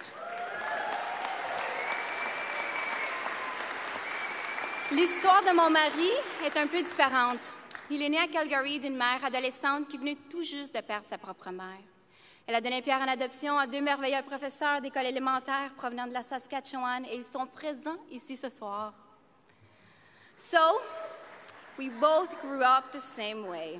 Our families living paycheck to paycheck, knowing that filling your tank of gas, it is not a luxury, but a way of transportation to go to work and to bring your children to school. Donc, nous avons grandi très similairement, nos familles vivant toujours en attendant le prochain chèque de paie, en sachant que faire le plein d'essence n'est pas un luxe, mais un moyen de transport pour aller travailler ou amener vos enfants à l'école. So, ladies and gentlemen, mesdames et messieurs, a principled man, a good son, a wonderful father, and a loving husband. This, this is the new leader of the Conservative Party of Canada et votre prochain Premier ministre, my husband, Pierre Poilievre.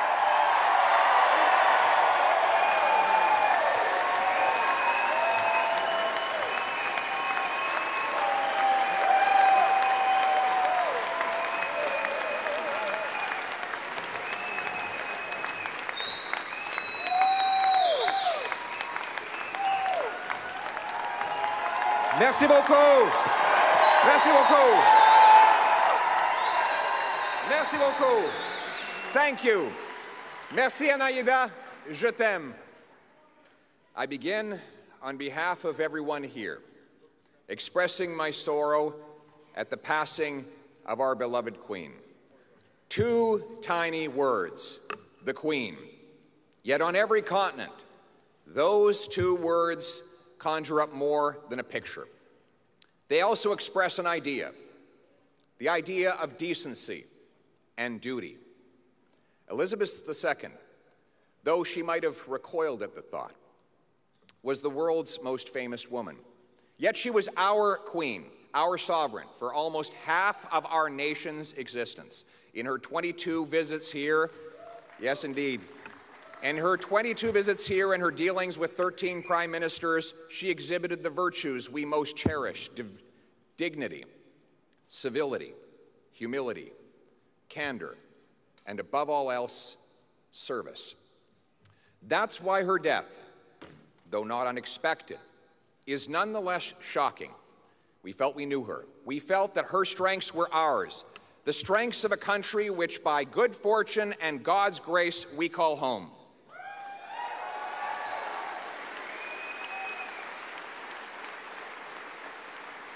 And that, perhaps, is why I feel a small catch in my throat when I utter the words that no leader has stated in this country for over seven decades God save the King.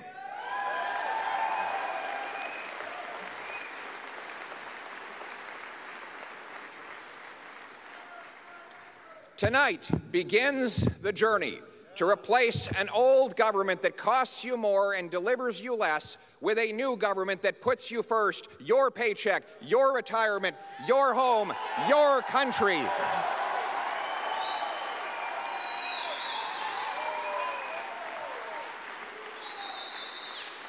By tackling liberal inflation, we'll put you back in control of your life and your money. Le, le travail Le travail commence ce soir pour remplacer ce vieux gouvernement qui vous coûte plus cher et qui vous apporte moins avec un nouveau gouvernement qui vous place en premier votre chèque de paie, votre retraite, votre maison, votre pays.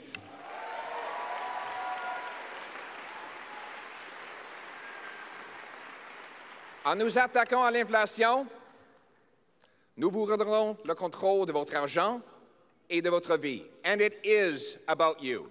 This is not my victory, it is yours, and I have so many people to thank. Merci à ceux et celles qui m'ont soutenu et qui se sont portés volontaires pour cette victoire. Merci aux autres candidats d'avoir renouvelé notre parti. Thank you to Scott Aitchison for running on ideas like simplifying and lowering taxes. Thank you very much, Scott.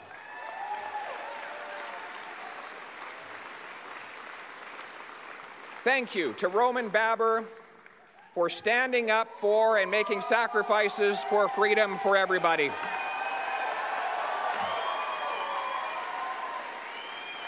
And thank you, thank you to his wonderful partner Nancy for championing children with autism. Thank you. Thank you to Leslyn Lewis for standing for family, faith, and freedom.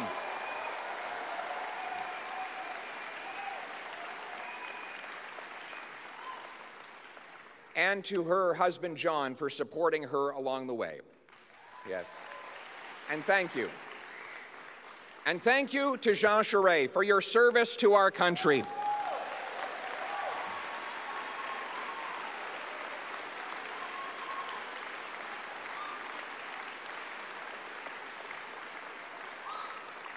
And for ensuring that we still have a country that is united in which we can call ourselves home. Thank you for fighting for Canada, Jean, when the nation's back was against the wall in the 1995 referendum. You stood with courage and passion. You defended our country, and our, our nation will ever be grateful for your work.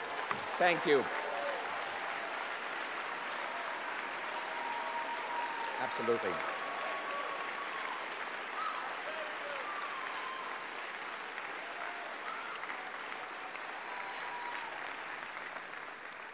Ça fait à peu près 40 ans que Jean est en politique, au niveau provincial et fédéral. Et c'est dur. Mais souvent, les vrais héros, ce n'est pas les candidats, c'est leur famille. And that's why I recognize Michelle.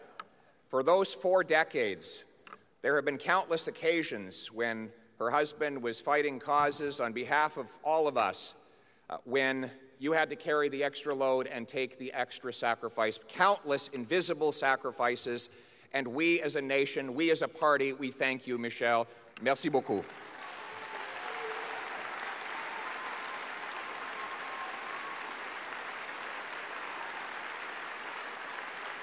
To supporters of all of these fine candidates, I open my arms to you. Now, today, we are one party serving one country.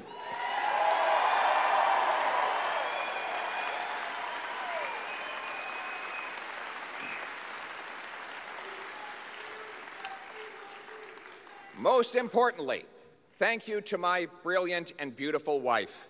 Merci à ma belle et brillante épouse.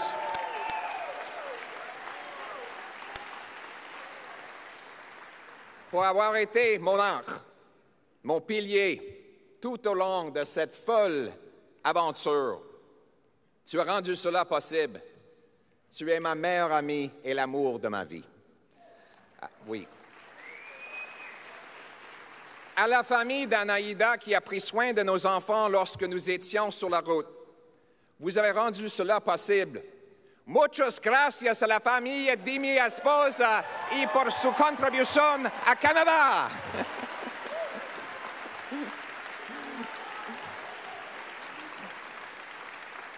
So that's all the Spanish I speak. If you ever come over to our house for one of our grand family gatherings, it's usually 20 uh, Latinos and Latinas arguing, telling jokes, telling stories in Spanish, and one guy standing around having no idea what anyone else is saying.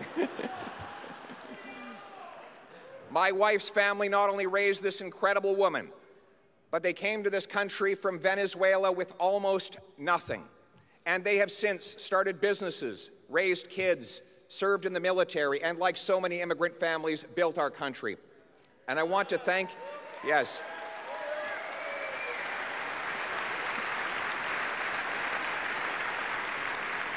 I want to thank my brother Patrick, my father Don, his partner Ross, my mother Marlene, and even my biological mother Jackie is here today. Yes.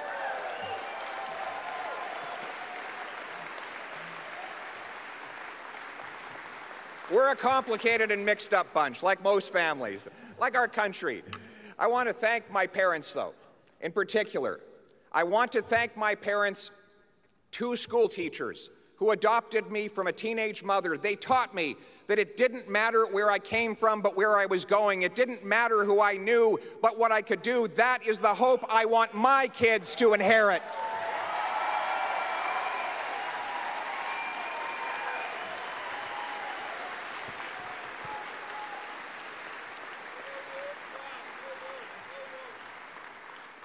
But that, that hope has melted into worry for many. Today, people feel like they've lost control of their pocketbooks and their lives. The cost of government is driving up the cost of living. This government, this liberal government, has doubled our national debt, adding more debt than all previous governments combined. That means another half trillion dollars bidding up the cost of the goods we buy and the interest we pay. Inflationary taxes increase those costs further. Now, they plan to triple the carbon tax on gas, heat, and everything else. Le coût du gouvernement augmente le coût de la vie. Ce gouvernement a ajouté à notre dette nationale plus que tous les autres gouvernements dans l'histoire de notre pays. Ça veut dire 500 milliards de dollars qui ajoutent à l'inflation et aux augmentations des taux d'intérêt. C'est le gouvernement le plus cher dans notre histoire. It is the most expensive government in history. And the more they spend, the more things cost. The result? Families downgrade their diets to cover the 10% year over year jump in food prices. Seniors delay their retirements and watch their life savings evaporate with inflation. 30 year olds who did everything we asked them to do, got degrees, worked hard are trapped in 400 square foot apartments or worse, their parents' basements because house prices have doubled under this government. And those who do own homes are paying more interest on their mortgages, even though this government promised interest rates would not rise for years. Les mères monoparentales mettent de l'eau dans le lait de leurs enfants pour pouvoir se permettre la hausse de 10 de la nourriture d'une année à l'autre. Les personnes âgées voient leurs économies s'évaporer avec l'inflation. Des jeunes de 30 ans qui ont fait tout ce que nous avons demandé d'eux, obtenir un diplôme, travailler fort, vivre dans le sous-sol de leurs parents parce que les prix des maisons ont doublé. Et ceux qui ont une maison paient davantage d'intérêts pour leur hypothèque. No wonder people are worried. Most are lucky to be just getting by. Many are falling behind. And there are people in this country who are just hanging on by a thread. These are citizens of our country. We are their servants. We owe them hope. They don't need a government that sneers at them, looks down on them, calls them names. They don't need a government to run their lives. They need a government that can run a passport office.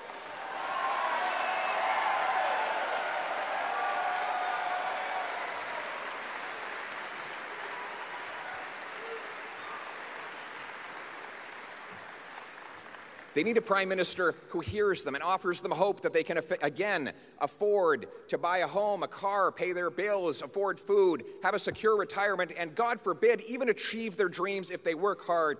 They need a prime minister who will restore that hope, and I will be that prime minister.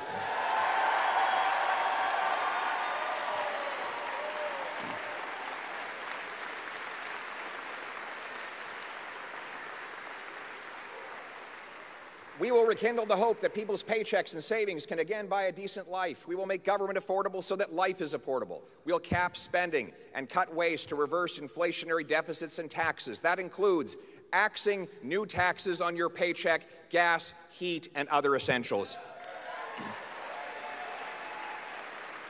It means fighting climate change with technology and not with taxes.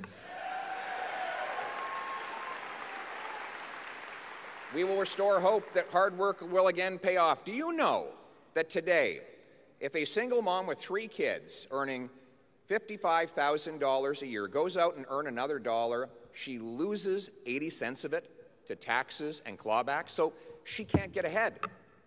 I will reform programs and cut taxes so that when that single mother and people like her earn more, they keep more, and hard work always pays off in this country.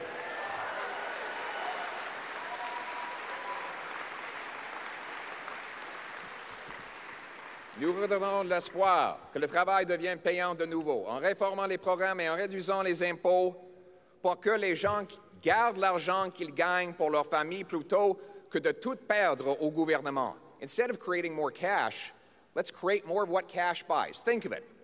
If you've got 10 loaves of bread and $10, well, it's a buck a loaf. If you double the number of dollars to 20, but you still have 10 loaves of bread, well, then it's $2. You see, spending more doesn't get us more. We need to make more. So instead of doubling the money, let's double the bread. Let's, yes. Let's remove the government gatekeepers to build more homes, grow more food, and produce more energy right here in Canada.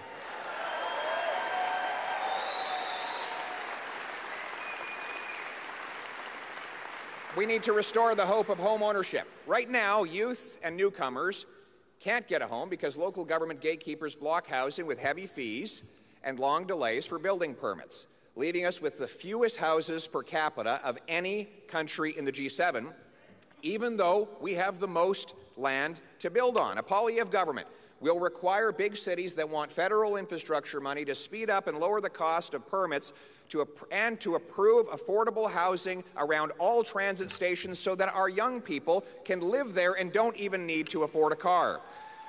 We, we will also We'll sell off 15% of the underutilized 37,000 federal buildings to turn them into housing and use the proceeds of sale to reduce our deficit. In other words, stop printing money, start building homes for our people. speaking, speaking of homes, we must make stuff here at home again, here in Canada. Look, trade is great. Trade is just great. But we learned during COVID that we can't count on the rest of the world to take care of us. That is why we must be the best place on earth for workers and businesses to build factories, mine critical minerals for electric cars, and develop other resources. Right now, we lose wages because we import 130,000 barrels of overseas oil, mostly from dictators, every single day, even though we have the third largest supply right here in Canada. And that is all because our government prefers dirty dictator oil to responsible Canadian energy. We will repeal this government's anti energy laws and replace them with a law that protects our environment, consults First Nations, and gets things built. We will greenlight Newfoundland and Labrador's planned increase in oil production, which will allow us to fully replace every single barrel of oil we're importing from abroad. And with, within five years, we will set the goal to end dictator oil in Canada altogether.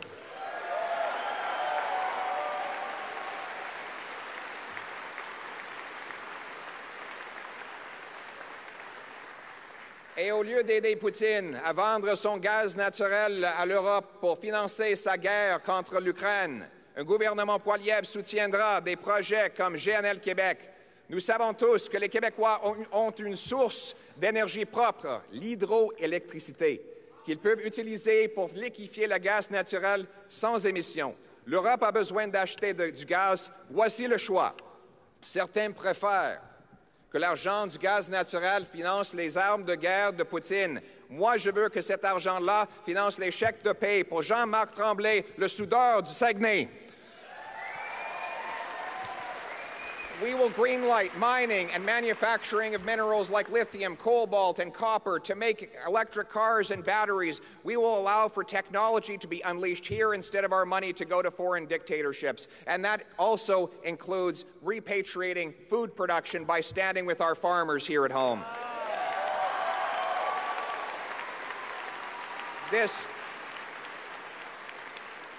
this government's high energy taxes and proposed fertilizer cuts will only drive food production abroad to more polluting foreign jurisdictions, which would have to then burn fuel to ship, train, and truck that food back to us. But didn't we learn how irresponsible it was to rely on the rest of the world to provide us with our essentials during COVID? A Poilievre government will repeal these taxes and fertilizer mandates to get out of the way and off the backs of our farmers so that we can grow affordable food, feed our people, and be the breadbasket of the world.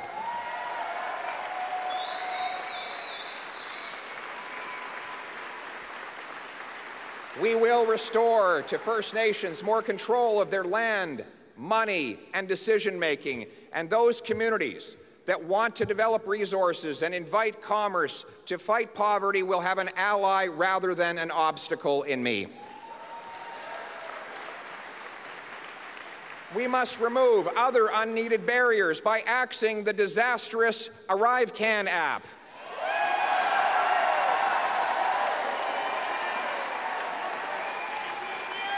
And and by ending the remaining COVID vaccine mandates to let people work and travel freely.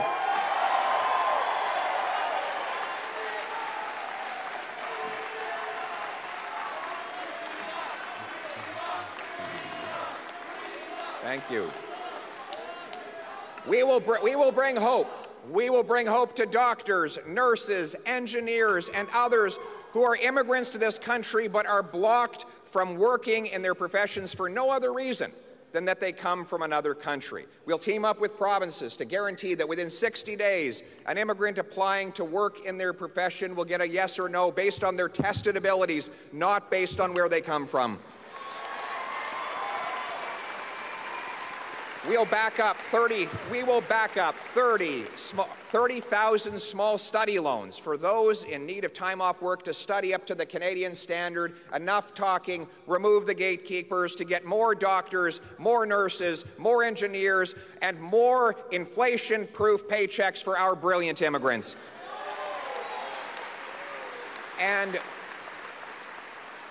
we will restore the hope of safe streets, a hope that has turned into fear in all too many places after killings in Vancouver, Montreal, Toronto, and most recently, Saskatchewan. Weakened laws allow chronic and violent reoffenders out for, of prison early at great danger to our people. Instead of spending a fortune targeting licensed and law abiding, trained and tested firearms owners, conservatives will bolster the laws, bolster the borders, and put the real criminals in jail.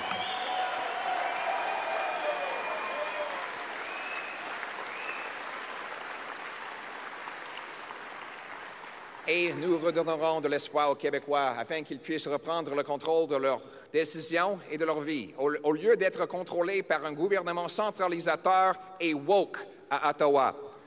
Vous savez, vous savez, vous savez, la langue française m'occupe une place toute spéciale dans mon corps. Mon père, qui a des origines canadiennes françaises et qui vient d'un village francescois, m'a transmis l'importance de préserver le français dès mon plus jeune âge. En, grandissant à Calgary, malheureusement, j'avais trop peu d'occasions de, le parler. Donc, j'ai beaucoup de travail à faire. Maintenant, je continue de perfectionner cette langue que j'aime, langue fondatrice de notre pays. Avec mon épouse, une Montréalaise, nous, transmettons à notre tour à nos enfants qui vont dans les garderies francophones. Nos petits-enfants, euh, Baby Cruz et Valentina, ils auront la langue française comme première langue. Et la deuxième langue, évidemment, espagnol. Et après ça, troisième langue, langue l'anglais. Je vais aller plus loin en parlant du Québec, je dirais que les conservateurs de partout au pays ont beaucoup d'apprendre des Québécois. Les Québécois défendent leur, patrimoine, leur culture et leur langue. Ils ne s'excusent pas. La nation québécoise tient tête au wokisme.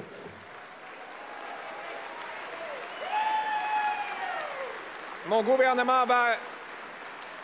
Mon gouvernement ne va pas se mettre le nez dans tout. Un État fédéral plus petit va faire grandir des citoyens du Québec et du Canada. Small government makes for big citizens who own their homes, build their dreams, raise their families, look out for their neighbors, and earn powerful paychecks and savings free from inflation and overtaxation. We will restore Canada's promise in a country where it doesn't matter who you love, or if your name is Smith or Singh, Martin or Mohammed, Chang or Charles. A country where the dreamer, the farmer, the worker, the entrepreneur, the survivor, the fighter, the ones who get knocked down but keep getting back up and keep going can achieve their purpose. A country where the son of a teenage mother adopted by two teachers can dare to run for Prime Minister of Canada.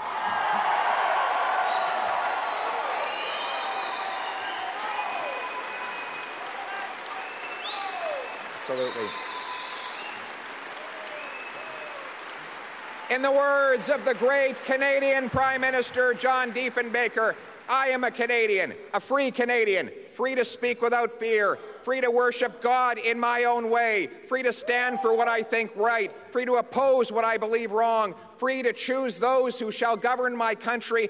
This heritage of freedom I pledge to uphold for myself and all of mankind. Merci beaucoup. Thank you very much.